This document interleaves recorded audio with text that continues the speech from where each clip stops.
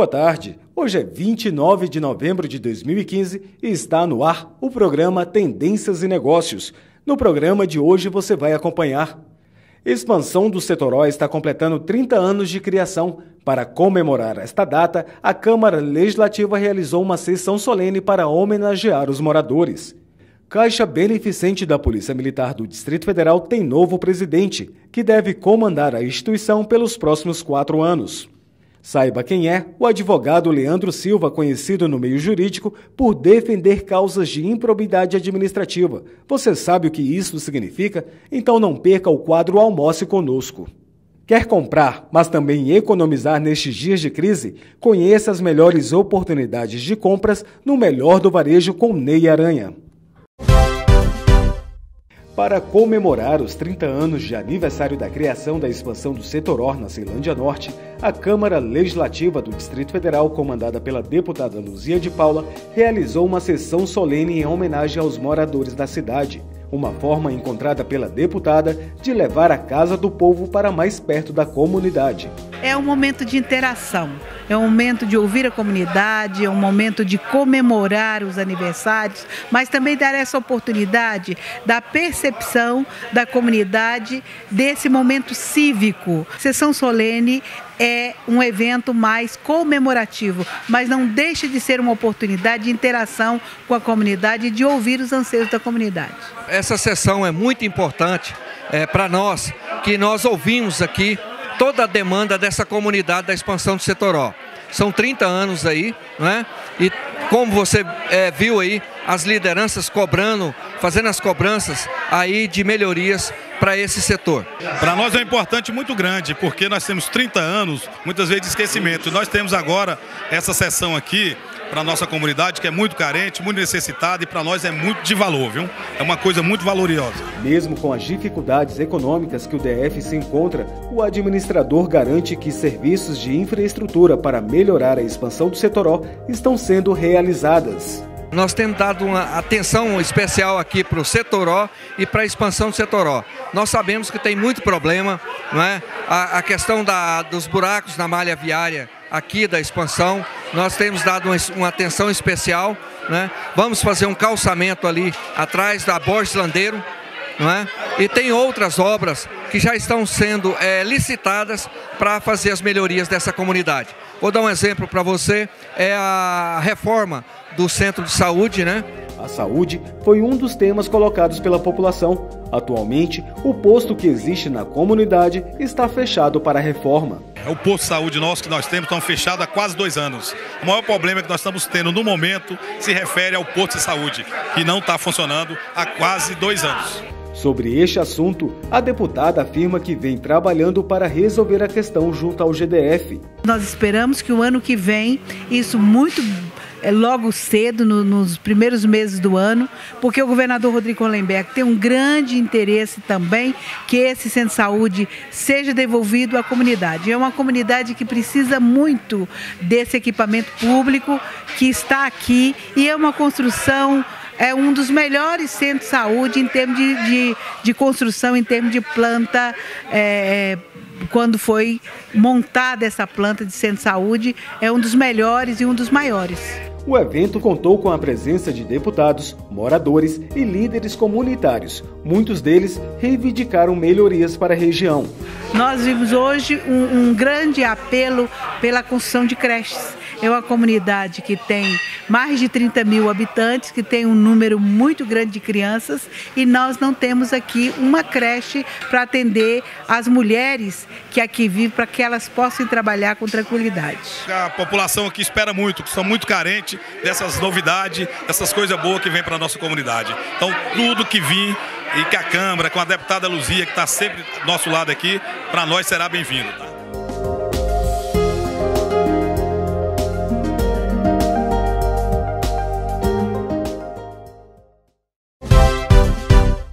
Após vários meses de campanha, na última semana, os associados da CAB, a Caixa Beneficente da Polícia Militar do Distrito Federal, escolheram os representantes que vão presidir a instituição pelos próximos quatro anos. O dia de votação foi bem movimentado, teve até boca de urna, mas tudo ocorreu dentro do que foi previsto pelos organizadores.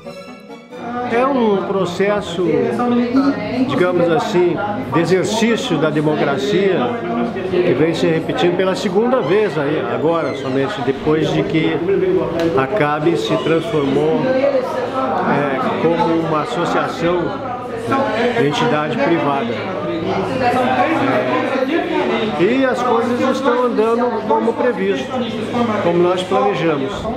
Com quase 1.300 votos, a Chapa 2, que tem como presidente Maria Costa, que é coronel da Polícia Militar do Distrito Federal, foi a campeã das eleições 2015.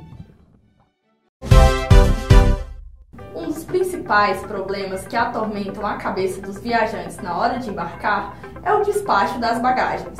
Muitas vezes, as malas vão parar em um destino diferente do planejado, como aconteceu com Ana Caroline. Foi no ano passado, na época da Copa do Mundo, eu fui fazer um intercâmbio no Canadá e na volta eu fiz uma conexão no aeroporto de Guarulhos, em São Paulo, que estava bem tumultuado, e eles acabaram despachando a minha mala para outro estado.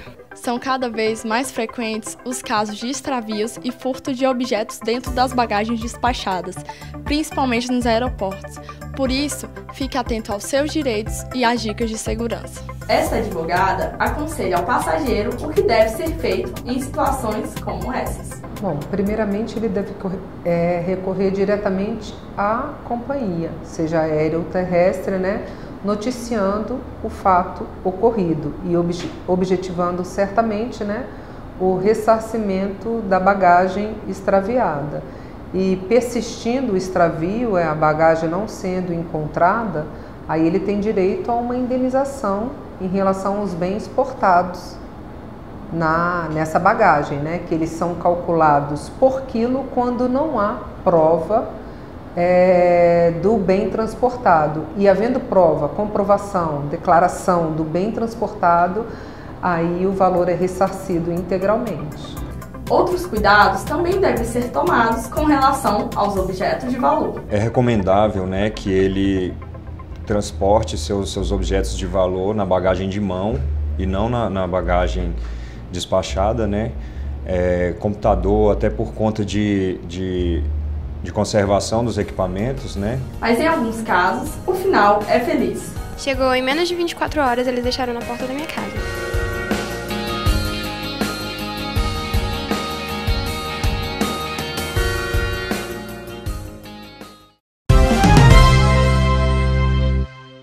Se você quer saber de tudo o que acontece na capital do país, você não pode perder Tendências e Negócios, o seu canal Business.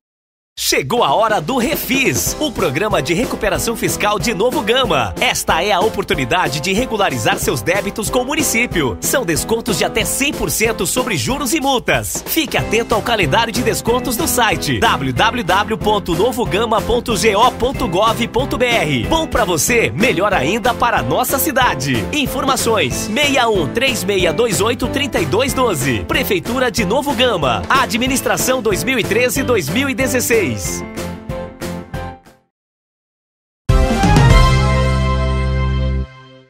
Dia 20 de novembro é comemorado no Brasil o Dia da Consciência Negra, data em que os movimentos negros se uniram para lutar pela liberdade e contra a discriminação racial.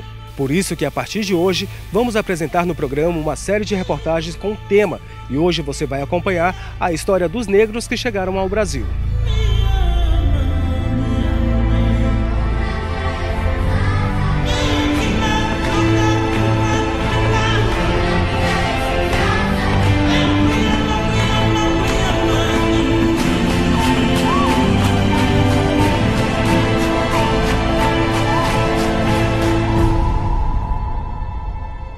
Os primeiros homens e mulheres negras que chegaram ao Brasil vieram da África. Capturados das comunidades africanas e trazidos em navios negreiros, aqui eles eram tratados como mercadorias e realizavam trabalho escravo.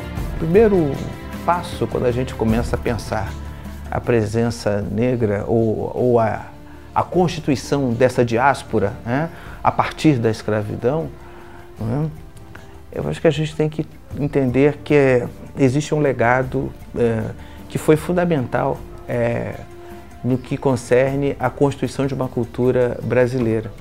Porque, ao contrário do que se pensa, é, essa presença aqui no Brasil não foi só marcada pelo trabalho escravo. Né? Os escravizados souberam fazer, é, apesar das agruras, apesar das dificuldades, souberam uh, intervir, souberam é, é, é, participar da cultura brasileira né, ao seu modo, à sua maneira. A gente não pode ver presença africana no Brasil de uma maneira é, é, única. Esses povos são vários povos, são várias tradições, várias origens. Devido às condições precárias em que estas pessoas eram conduzidas ao trabalho, muitos conseguiram fugir e formar as próprias comunidades, chamadas de quilombos. As comunidades quilombolas é, foram formadas por populações escravizadas é, que, em uma ação de resistência, é, conseguiam escapar das senzalas, né, do, do, do, regime escravocrata do país e que se reaglutinavam em regiões, em locais distantes é, do centro urbano é, das colônias, né, da colônia daquele período. E dali não eram só os negros escravizados é, fugitivos, mas também populações discriminadas na sociedade e que não tinham é, respeito e nem condições de trabalho e permanência dentro da, da sociedade da época e eram absorvidos, incorporados nos quilombos. Uma das comunidades mais conhecidas até os dias de hoje é o Quilombo dos Palmares, liderada por Zumbi. Zumbi porque é, está muito relacionado a um dos principais é, quilombos do país, um baluarte da luta negra contra a escravidão, e mas é, no Quilombo dos Palmares, em, nas Alagoas, em Pernambuco, Alagoas, Bahia, é, isso no século XVII, século XVIII. O trabalho escravo no Brasil só teve fim em 1988 com a assinatura da Lei Áurea pela princesa Isabel. Mesmo assim, o país foi um dos que mais se beneficiou com a escravidão. Quando é, há a decisão do Império em abolir a escravidão, é, já não havia mais escravidão praticamente no mundo inteiro. E mesmo aqueles que foram contemplados pela abolição já era um percentual diminuto, porque a escravidão já era um sistema moribundo, um sistema é, falido, é, com muitos problemas. Né?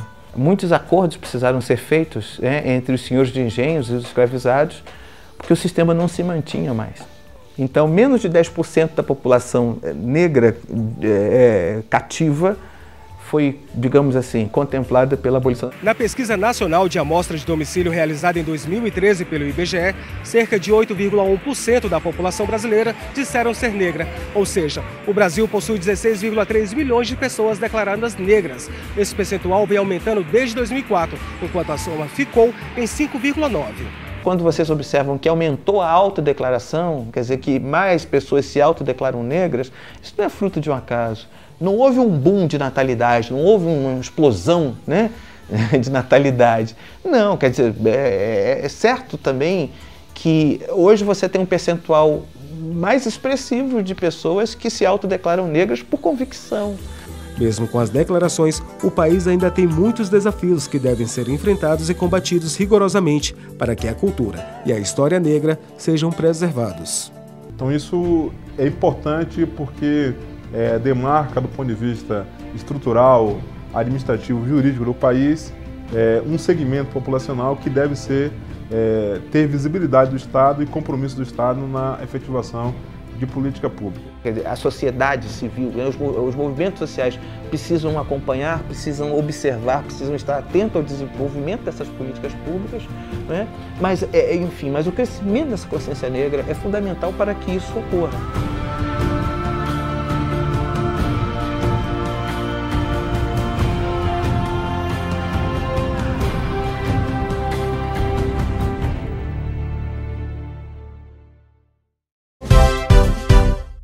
Boa tarde. Mais uma vez aqui no quadro Almoço Conosco, no restaurante Latambui, aqui no Espaço Gourmet do Parque Shop. Estamos recebendo hoje a, visita, né, o nosso convidado especial, Dr. Leandro Silva, que trata da advocacia é, relacionada ao setor público. E Gustavo Lúcio, que estamos aqui mais uma vez, né, Gustavo, para apresentar o nosso quadro Almoço Conosco aqui no Tendências Negócios. Doutor, é, vamos falar um pouquinho né, da sua carreira do, do, do de, é, como advogado e como que você se especializou na questão da improbidade. Meados de novembro de 2002, eu fui assessor, eu ingressei no Ministério Público, fui assessor do Dr. Murilo, de Moraes Miranda, promotoria do Ministério Público de Goiânia. E lá nós fizemos, eu tive a oportunidade de trabalhar com, com ele e fazer centenas de ações civis públicas. E a matéria da improbidade, ela é movimentada, o meio de se trabalhar a improbidade administrativa é através de uma ação civil pública. E por tal razão eu direcionei todos os meus estudos para essa área. E assim eu comecei a construir a, a minha carreira na área de, da improbidade administrativa. E o que, que é a improbidade administrativa? Dentro da sua capacidade de visão, mesmo que não conheça profundamente os processos, é, existiu ou existe a improbidade no caso da nossa presidente? Para fazer essa afirmação, você precisa de uma ferramenta que é o inquérito civil para investigar, apurar o fato em si e verificar se aquele fato tem enquadramento com a norma jurídica. Aí sim, havendo esse fato provado, devidamente provado e um enquadramento com a norma jurídica, aí sim poderíamos falar na improbidade administrativa. Nem tudo é improbidade. Improbidade, na verdade, é um microsistema, uma pequena parte do direito. E hoje o que nós verificamos, né, que há uma inversão às vezes de valores nem as pedaladas que ela fez para conseguir se manter no poder? Eu entendo que nem mesmo as pedaladas que ela fez para conseguir se manter no poder, se é que foi, que, que foi este o objetivo, eu entendo que não foi é, improbidade administrativa. E para que eu mude de opinião, né, ou para que um promotor de justiça tem que ser feito um inquérito civil para apurar de uma forma rigorosa e criteriosa o fato para somente então chegar a essa conclusão. Este é o nosso problema hoje. Sim, e lá em, em, na cidade ocidental, né, inclusive você está defendendo uma causa que é a questão da prefeita. Né? Foi solicitada uma cassação é, por improbidade. E, e existe essa improbidade? Não, não existe essa improbidade. Veja bem, é, houve uma denúncia de um vereador da cidade ocidental chamado de Paulo Rogério. Então ele os, retirou fotos, ele foi na Secretaria de Viação e Obras, retirou fotos de alguns carros que estavam lá parados.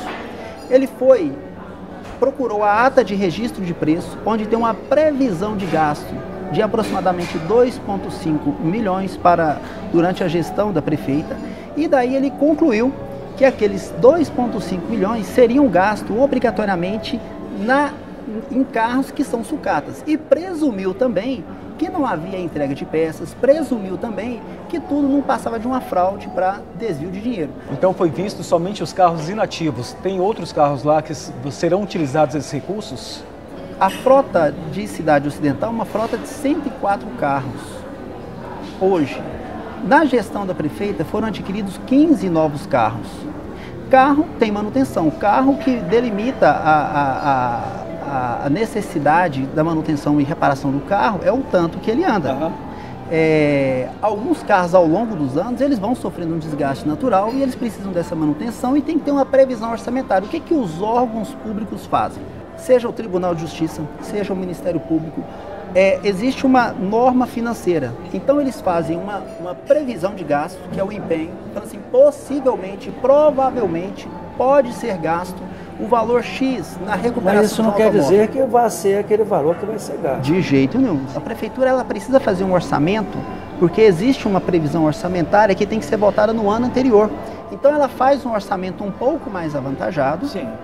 Para, se precisar, gastar, mas é se precisar. E se não precisar, aí não gasta. Seria a emergência. Se precisar, você tem aquela emergência ali para utilizar. Se precisar, tem aquela emergência. E hoje nós temos um quadro de, um pouco diferenciado, porque as prefeituras, elas não estão com recursos financeiros de sobra para gastar. É, porque foram prejudicadas no, no FPM, né? Justamente. É. Né? E nós estamos passando por um momento, uma crise, crise nacional. Econômica, crise nacional. É. Dentro dessa visão, a prefeita Gisele Araújo, ela fez uma, uma administração exemplar.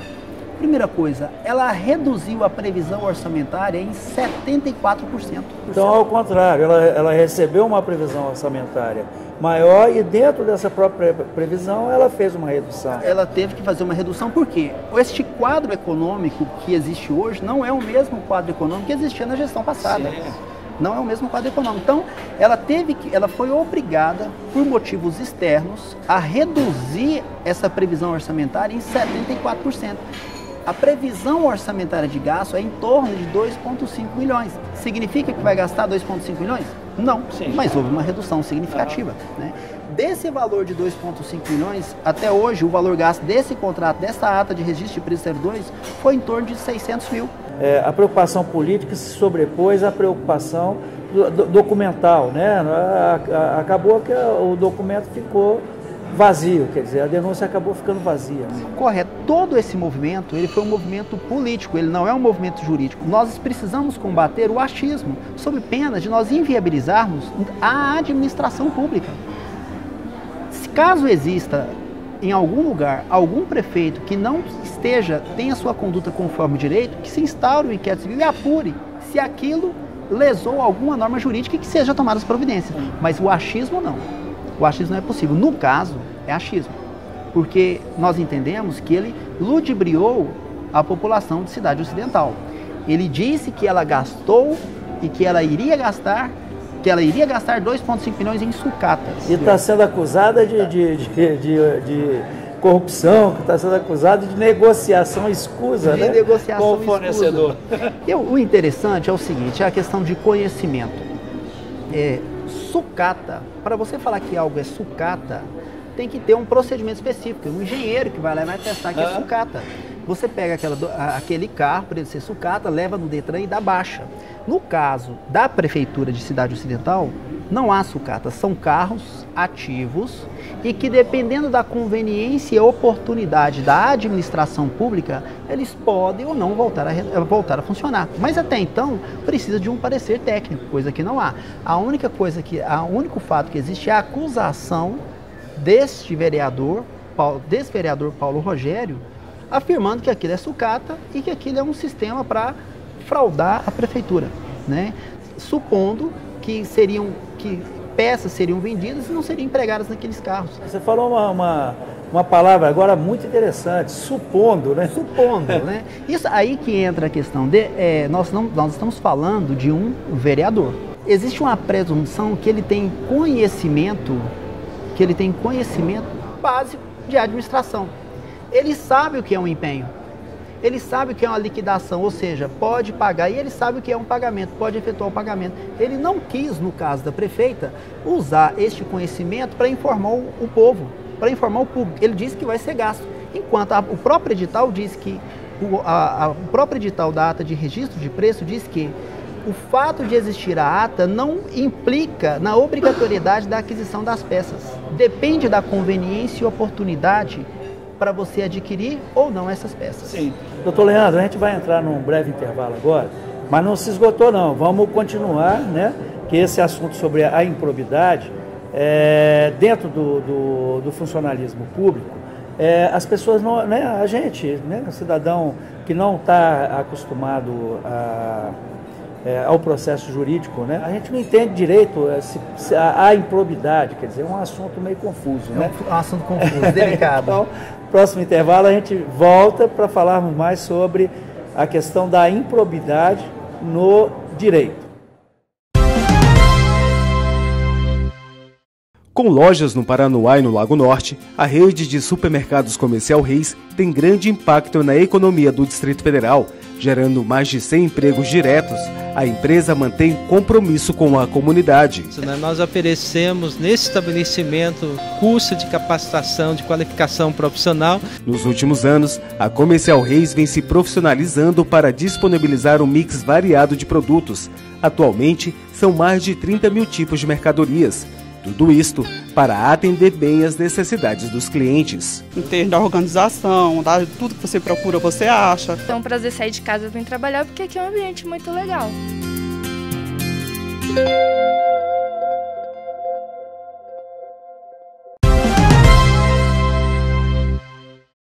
Voltamos. Hoje aqui no Almoço Conosco, no Latambui, Espaço Gourmet do Parque Shopping, recebendo a presença do Dr. Leandro Silva, que estamos discutindo aqui sobre a questão da improbidade. Doutor, impeachment, é, ela, ela hoje ela está sendo usada como uma ferramenta política para que seja arranhada a imagem de quem está no executivo né, perante a população? Sim.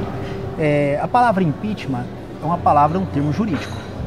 Ele significa a cassação, a retirada daquela pessoa que foi eleita de uma forma, da pessoa que foi eleita de uma forma legítima pela população, pelo povo brasileiro, a retirada dela do poder. Vejamos, sendo uma, uma expressão jurídica, significa que ela tem critérios. Não basta apenas acusar, tem que narrar o fato, tem que juntar provas, tem que demonstrar isso dentro de uma previsão econômica, é, dentro de uma previsão social, dentro de uma previsão até quiçá política, dentro de uma previsão de racionalidade, de razoabilidade, para que você possa chegar à conclusão que alguém pode sofrer o impeachment. Não é qualquer coisa que é o impeachment. São pouquíssimos critérios que são impeachment. É o que está ocorrendo hoje em Cidade Ocidental. Mas o fato não corresponde à verdade. Sim. O fato não corresponde à verdade. Trata-se, evidentemente, de uma manobra política, uma finalidade eleitoral e não uma finalidade jurídica. Aí nós temos, passamos a ter uma, um comportamento imoral, porque nós estamos enganando a população. Nós estamos enganando. A prefeita de Cidade Ocidental, Gisele Araújo, quando foi informada do ocorrido, o que, que ela mandou fazer? Apure-se. Ela determinou imediatamente a apuração. Nós não temos, a defesa da prefeita, ela não tem medo é, é, de nenhuma intervenção jurídica. Por quê? Nós estamos preparados. Nós já sabemos a realidade. Nós sabemos que a legalidade foi devidamente observada. E nós sabemos também que tudo que o acusador, que é o vereador Paulo Rogério, fez e faz nas ruas de Cidade Ocidental, distribuindo panfletos, não tem nenhum fundamento. Mas e os contratos? Esses contratos assinados pela prefeitura não faz parte do processo? Não pode virar uma prova contra a prefeitura? Todos os processos de licitação, dentro da minha análise, eles seguiram a perfeita é, legalidade. Eles foram aprovados, ele, o, o edital foi feito, foi, ocorreu a publicação, as pessoas participaram de uma maneira legítima, lícita. Quem teve a aprovação da Procuradoria do, do município falando que o procedimento estava correto e foi concluído e quem venceu, quem, quem foi convidado, ganhou o processo licitatório é quem ocupa hoje o espaço. É, não há nenhuma ilegalidade nesse ponto.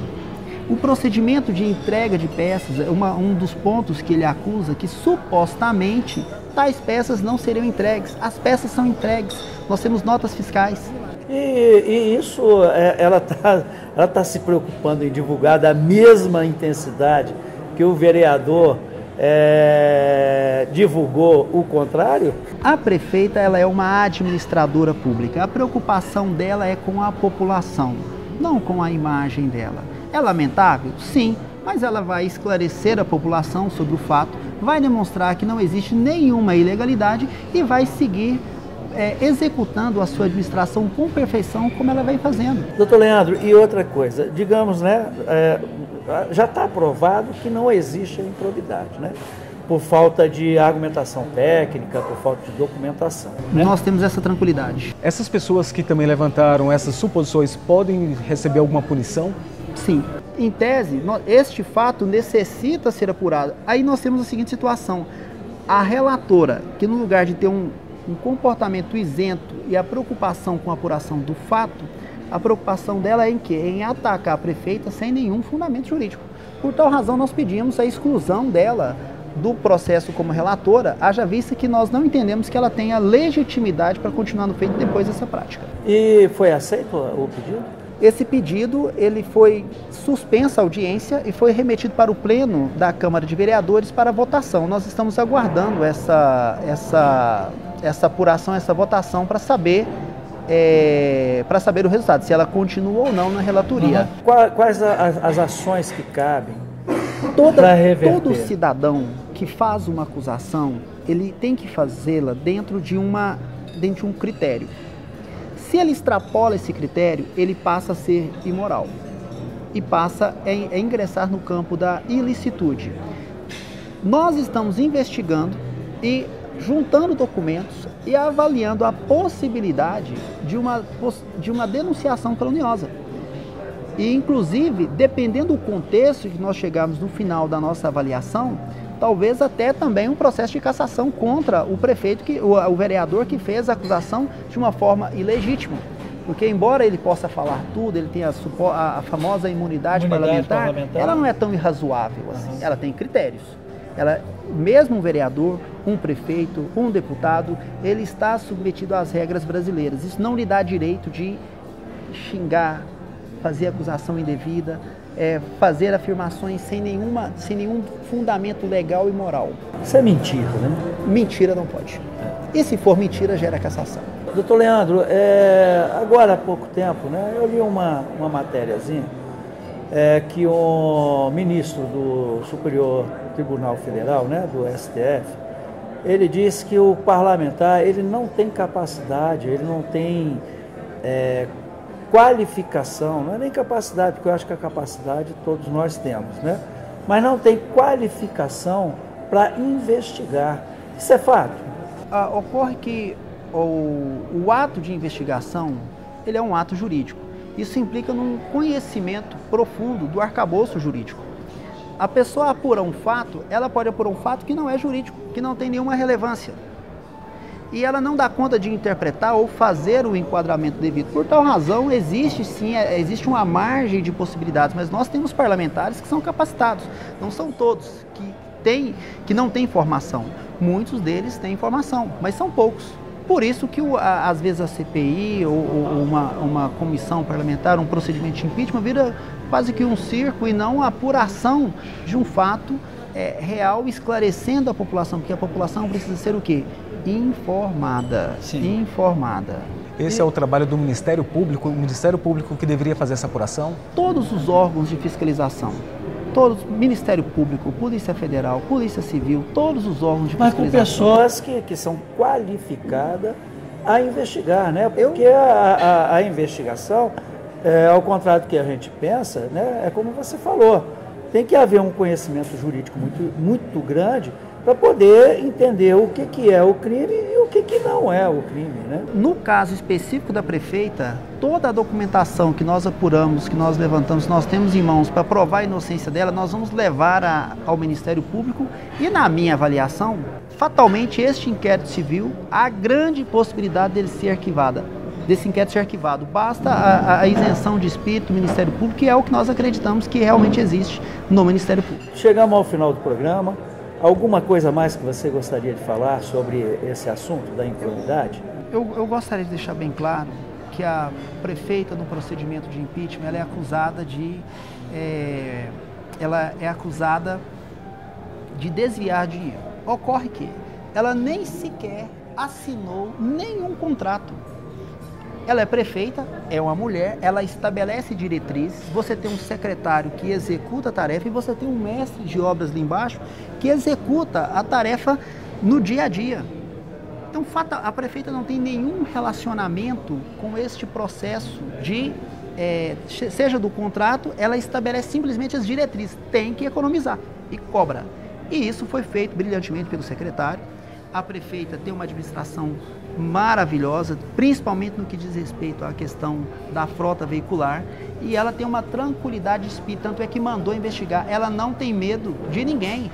Ela que vai levar a documentação, vai apresentar para o Ministério Público e vai apresentar também é, na, Câmara, na Câmara de Vereadores. Ela é inocente, porém, precisamos ter uma cautela a Câmara de Vereadores precisa ter uma isenção de espírito para apurar o fato e não fazer movimento político, porque aí ele não estaria sendo o quê? Eles não seriam vereadores e não estariam também sendo cidadãos. Essa retidão de espírito é fundamental por parte dos vereadores e nós acreditamos nos vereadores. Embora tenha esse, esse percalço de um vereador, de dois vereadores que insistem numa possível cassação, querem caçar a prefeita sem nenhum motivo legítimo, sem nenhum motivo devido. Ok. Então, chegamos ao final do programa e espero, é, aliás, o convite já fica aqui. Né? Depois do, é, da conclusão de todo esse caso, eu gostaria que o senhor voltasse aqui no Tenência Negócio para poder esclarecer né, ao nosso público essa, todo essa, esse emaranhado né, do processo jurídico do processo político e principalmente da questão da improbidade administrativa. Muito obrigado, doutor. Eu que agradeço. Muito obrigado. Gustavo, obrigado. obrigado. Boa tarde e até o próximo domingo. Deposite suas economias na poupança Cicobi e liberte seu porquinho para fazer tudo o que ele não pode quando está cheio de moedas. A poupança Cicobi tem a força da maior instituição financeira cooperativa do país. Poupe no Cicobi, seu porquinho ganha vida nova e seu dinheiro vida longa. Cicobi, associado a você. Agora na OK FM, você ficará conectado aos principais acontecimentos políticos da semana. Notícias, informação, bastidores, entrevistas, críticas e sugestões. Programa Conectado ao Poder, de segunda a sexta das 20 às 21 horas na rádio OK FM. A apresentação do consultor em marketing político e blogueiro Sandro Gianelli. Programa Conectado ao Poder.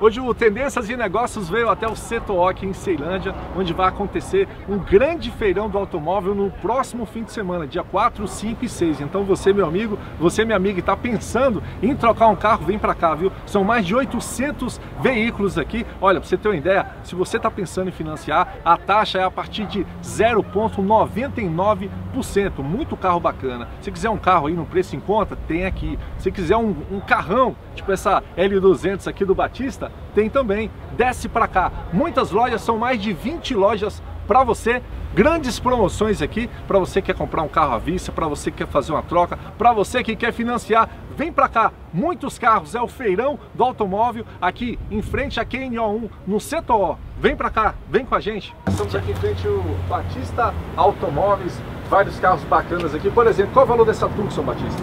Tucson 2010, 2011, único dono, no, 39 mil reais. E a Captiva? Captiva 2009, 44 mil. E a Frontier ali? Frontier 2011, top, nova, é 68 mil. E pra gente encerrar, e aquela L200? Lá? L200 2011-12, automática, por apenas 79 mil reais. Aqui vocês têm carro a partir de quanto? A partir de 10 mil nós temos carro garantido, com garantia para o cliente. Rubens Souza, como é que começou essa ideia de montar essa associação do Polo do Automóvel de Ceilândia? Na verdade, nós criamos esse feirão para que o local fosse conhecido. Porque isso é bom para o povo, é bom para o comércio, o comércio está muito parado, então tem ajudado bastante todas as lojas. Nós fizemos um feirão passado, foi um sucesso espero que nesse seja um sucesso de novo. O, o estoque hoje das lojas é em torno de 850 carros, então é, é muito carro, então tem carro para todo gosto.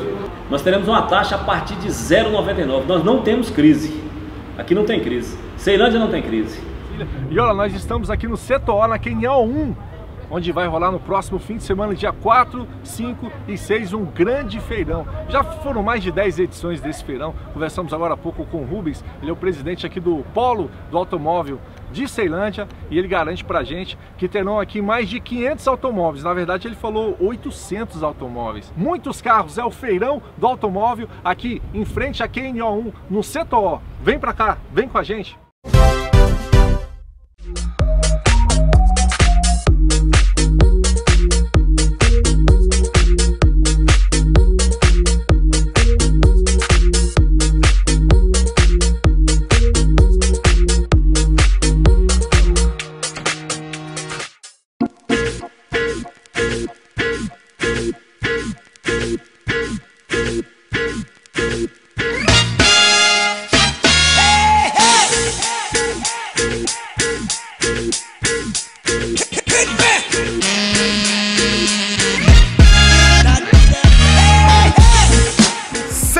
Sem crise, venda é criatividade, venda é estratégia. Eu criei um sistema chamado a senha. Eu vou até a empresa, vou até o dono da empresa, negocio os melhores preços, produtos a preço de custo, como aconteceu na Adrenalina Sport Bike e já foi um sucesso. Como está acontecendo na Enxovais Paulista, já é um sucesso! Agora eu quero convidar você, empresário, é você mesmo, para você que quer vender mais, quer vender muito mais, ligue agora, mas ligue agora para o meu telefone. Eu vou até você e juntos iremos criar uma estratégia de vendas para você vender mais neste final de ano. O telefone é 9999 1979 9999 1979. Juntos, vamos vender muito mais. O melhor do varejo. Esse sim é o maior show de vendas já realizado no Brasil. Hoje eu estou aqui com meu amigo Lucas. Nós estamos falando aqui, ele que é nosso orientador aqui da Hiperform, uma das empresas mais conhecidas de nutrição esportiva do Brasil. E a gente vai falar de um produto agora de um Monster Gainer. É da Vitor Best. E explicar para você por que, que você vai adquirir esse produto e vai crescer forte, com muito mais massa muscular e com muito mais energia. E tá qualidade. certo? É, Arroz, feijão, macarrão é rico em carboidrato. O que diferencia de um produto como esse, hein, Lucas? Daí o arroz, feijão. É bom. É bom. Não vou deixar Tem de comer. proteína, não vai deixar de comer nunca isso aí. E nem você. Entendeu? Só Mas- que, para quem quer ganhar massa muscular sólida com qualidade, não vai ficar só no arroz, feijão, macarrão. Claro. Isso aí, com o tempo ele vai adquirir é, gordura, ele vai adquirir Como é uma que retenção de água. isso, então? O que, que você vai, vai- a gente recomenda? É, Vitor Best é uma marca espanhola mundialmente conhecida, está chegando agora no Brasil. Grande referência. Grande referência mundial. Tá. É, nós não falamos aqui especificamente do hipercalórico hoje, que é o Monster Games, que ao contrário da pessoa, igual você comentou, do arroz, feijão, macarrão, é Aham. carboidrato? É. É. Tem proteína? Tem. Vai ganhar massa e qualidade? Não. Ah, o Gainus Monster... Qual tipo de proteína? Nós temos aqui no Monster Gains, uma- não além da proteína, mas do carboidrato também, com o carboidrato de baixo índice glicêmico, ao contrário do arroz, Certo. feijão, ainda mais associado. Quando você reúne arroz, feijão, macarrão, você tem um carboidrato alto, de alto índice glicêmico. Quando você pega o Monster Gains, você tem um carboidrato de baixo índice glicêmico. O que, que é isso? A sua taxa glicêmica não vai elevar tanto, Sim. não vai ser convertida em açúcar e futuramente não vai virar é, gordura no seu Porque tem organismo uma formulação própria para isso. uma formulação própria. Você tem um proteína de alto valor biológico, que é a whey protein, mais popularmente conhecida no mercado, o whey protein, é a proteína concentrada do leite. Agora me fala o seguinte: massa muscular sólida e massa muscular bruta. A gente está falando disso. Tem gente Justamente. com ah, muito arroz, muito feijão, massa muscular sólida e bruta em que diferencia. Esse produto vai diferenciar uma coisa da outra aonde? Ney, o- a massa muscular bruta é que a gente chama de o peso. Vou ganhar Peso. peso. Peso. Vou ganhar peso. Vou comer muito peso, arroz, macarrão? Você, justamente, você vai reter líquido, você ganha gordura, você vai ganhar um pouco errados. massa muscular, alimentação errada, quantidade errada, Claro. excesso, correto? Aqui você tem uma, uma proteína, um, um calórico, uma proteína com carboidratos específico para quem faz atividade física com o objetivo de ganhar massa muscular real, a massa muscular sólida. É o ganho de massa. Ele tem uma compensação calórica para as pessoas que têm um metabolismo acelerado. O que, que é isso? Você queima mais do que está ingerindo. Você não vai ganhar massa muscular nunca com isso. Aquilo ali não fica retido o tempo todo. Não fica Ele retido. vai sumir de Você alguma tá maneira. acelerando aquilo que só queima. Quando você injeta esse, esse produto, você tem um aporte melhor de carboidratos, vai compensando o seu gasto calórico, ao mesmo tempo uma proteína de alto valor biológico, que vai, rica em aminoácidos, que vai com isso é, auxiliar você no seu ganho de massa, fortalecimento muscular, desempenho melhor na academia e o, o que a gente estava falando, massa muscular real. Real. Isso. É, a Vitor Best traz aí pra você, então, esse Monster Gainer. É Plus, é Master, de alta qualidade para você ficar definido, definida, bonito, bonita, com qualidade de vida e com os músculos ainda mais Desenvolvida. aqui na Hiperform com o meu amigo Lucas Ribeiro. Lucas Ribeiro, com você. Com o Luiz, ele que comanda a Vitobestia Monster Gainer. E aí, Luiz, o que, que a gente vai fazer com esse produto agora, depois de apresentar para o pessoal aqui? Pô, né, então, sou representante comercial da Vitobest aqui em Brasília, como você falou, e a gente, em parceria com a Hiperform, vamos estar sorteando esse Monster Game pra quem compartilhar o vídeo. Sorteio? Isso. Totalmente de graça? De graça. Precisa fazer o quê? Só compartilhar e marcar dois amigos. Na qual página? Na página da Hiperform, a maior loja de Taguatinga. Quanto é que custa aqui na loja? Aqui na Hiperform, apenas R$ 239,99. Monster Gainer é Vitor Best. Pra você compartilhar.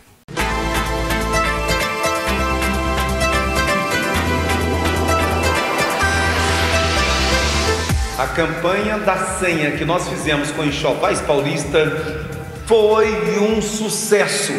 Agora a gente vai conhecer um pouco mais a vida do empreendedor Hamilton Enxovais Paulista, que começou no negócio aos 17 anos de idade. Eu gosto muito do Hamilton. O Hamilton é um daqueles empresários que a gente chega na empresa dele e se sente em casa. A gente se sente dentro de casa. É, Hamilton, seguinte, como é que surgiu essa ideia de vender enxovais, vender esse tipo de produto? Como que surgiu? Como surgiu? Eu comecei a trabalhar numa loja de cama, mesa e banho em Goiânia. Né? Você lembra o nome da loja? É, Bordados e Bitinga. Bordados e Bitinga. Isso, trabalhei dois anos lá, né? De vendedor. E com o nome Enxovais Paulista na cabeça, né? Você, você começou lá há quantos anos? Com 17 anos. 17 anos. Hoje, hoje o Hamilton ele tá com 40 e pouquinho. 43. 43 anos. É. Começou lá com 17 anos. Com 17. É, e aí você tinha esse nome Chovais Paulista na cabeça? Isso. Como é que foi? Você sonhou com isso? O que que acon- Como que veio esse nome na sua cabeça? Você lembra não? Na minha cabeça que se eu botasse Chovais Paulista ia dar certo. Como, o, o- vender cama, mesa banho com o nome Chovais Paulista. Isso veio na sua cabeça? Correto. E você trabalhando lá? Trabalhando lá. Vem cá, durante esse tempo, durante esse período, você pegou alguma crise? Algu- Alguma crise financeira? Pra gente, eu da Enxovais Paulista, nós nunca tivemos crise. Eu imagino, eu imagino que não. Mas a sua história passou por alguma? Agora, no começo, no começo da nossa é, da primeira loja, estava em crise já. E qual que crise que era? Você lembra não? A época do colo aí. Época do colo, aquela- aquele confisco da poupança. Correto. Então a sua empresa passou por aquilo ali, mas ela Isso. sentiu essa crise não? Então estava acelerada. Aceleramos, começamos já acelerado. tá? Começaram acelerado. Passou É, o pessoal loja. reclamando, E nós abrindo reclamando loja. e você abrindo loja. O pessoal Correto. reclamando com o confisco da poupança, o povo morrendo, chorando e você ali Abrindo loja. abrindo loja. Isso, sempre, nunca parou. Hoje são quantas lojas? Nós temos 14 lojas. 14 lojas da Enxovais Paulista.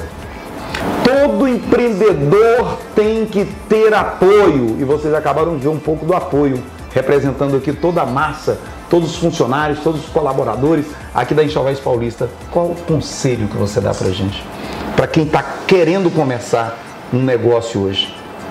Olha, Aranha, é o que eu te falei há pouco, né? Se dedicar, pegar com garra, firme. Eu acredito que não tem nada difícil, de- depende da gente querer as coisas, né? Hoje você está passando por crise? Não. A empresa ela tá Tá de vento em popa, graças a Deus. A crise ela vai ficar para alguns e ela vai passar para outros. Sabe por quê? A crise, ela, claro que ela existe. Ninguém aqui vai ser bobo de falar que não existe uma crise política, uma crise financeira. Mas eu, o Hamilton, você que está aí, não tem que estar nem aí para a crise, porque o momento agora é de fazer as coisas acontecerem. Hamilton, mas a vida tá dura para você? Ney, a vida só é dura para quem é mole. A vida só é dura pra quem é mole. Hamilton, Enxovais Paulista. Your stare was holding, ripped jeans, skin was showing,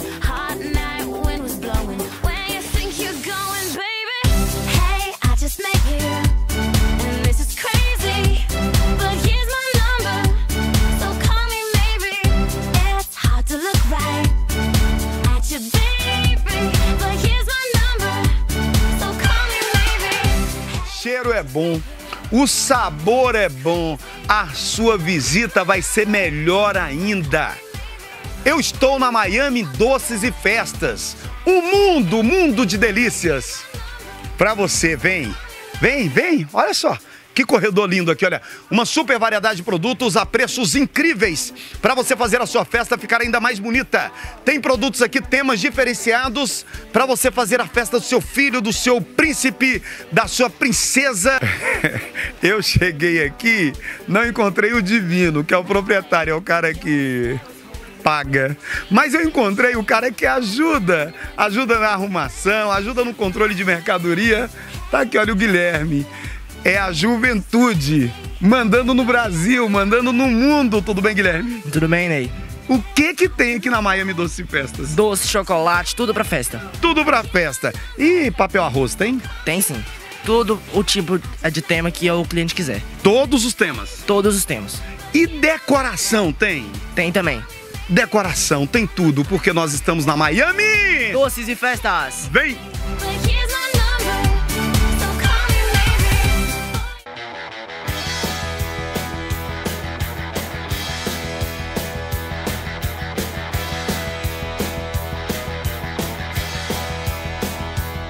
Que moto é essa? Essa é a Crosser 150.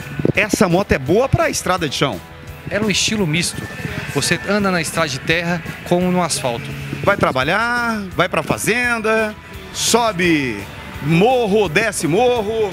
Você tem um momento de lazer para você ir para a sua chácara, você ir para o trabalho. Você tem uma moto pra, versátil para você.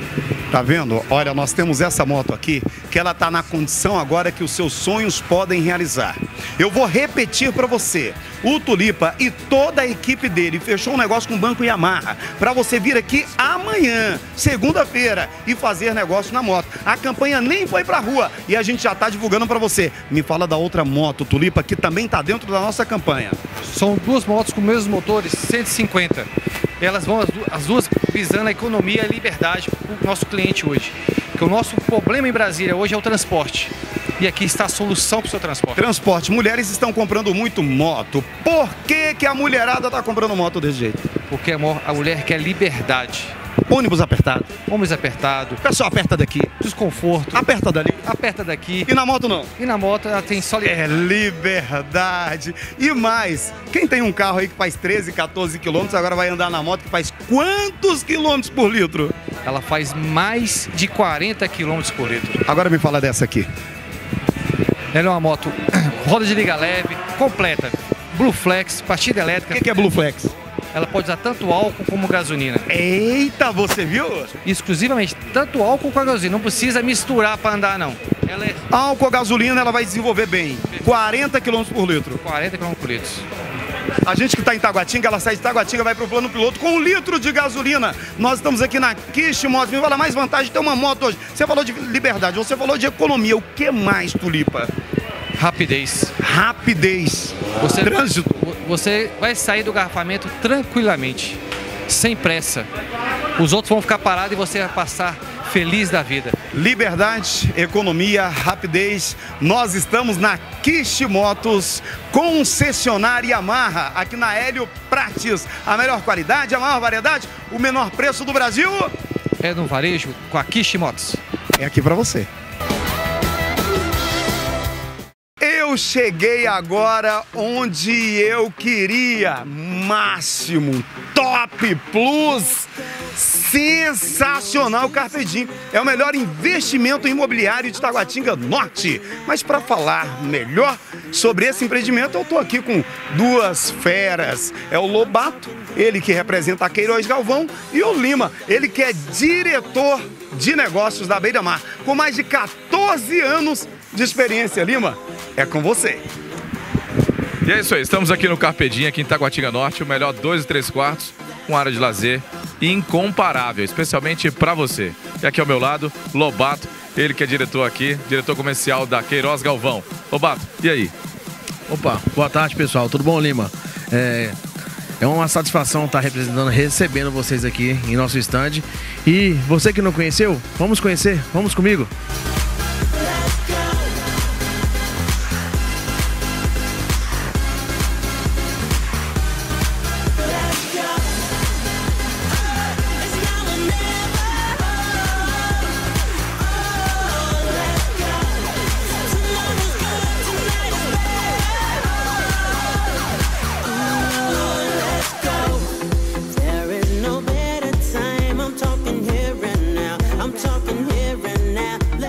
Agora sim, agora sim você vai conhecer o seu apartamento. Vem comigo.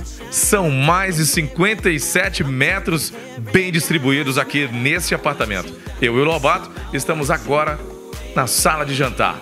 Muito bem trabalhada, muito bem distribuída e, é claro, conjugada com a sala de estar.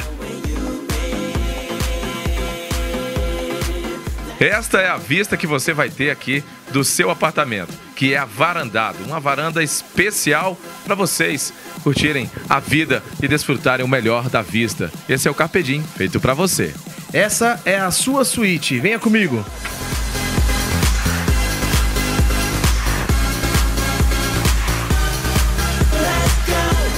Aqui nós temos o quarto social, onde nós fizemos uma decoração para você que possui dois filhos, tá? Aonde o seu príncipe e sua princesa vão dormir.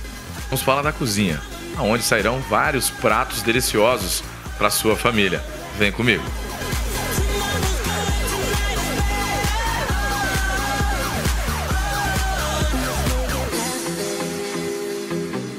Nós estamos aqui na lavanderia do seu apartamento, o apartamento feito para que você possa usufruir em sua totalidade. Aqui você pode dividir o seu apartamento, a lavanderia da cozinha. Carpedim, melhor dois, três quartos, área de lazer, sucesso, show. Um financiamento que você pode pagar. Agora, Lobato, o telefone. 3354 1009. Vem!